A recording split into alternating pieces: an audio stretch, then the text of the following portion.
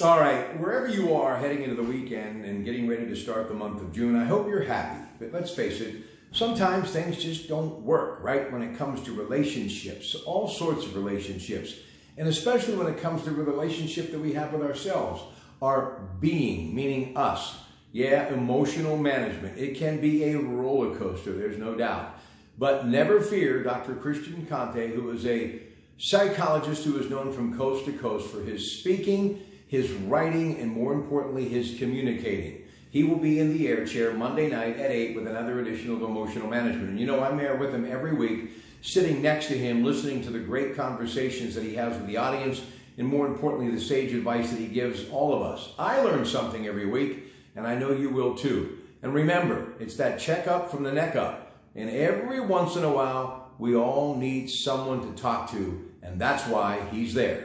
Emotional Management this Monday and every Monday night with Dr. Christian Conte, 8 to 10 p.m. on KDKA Radio.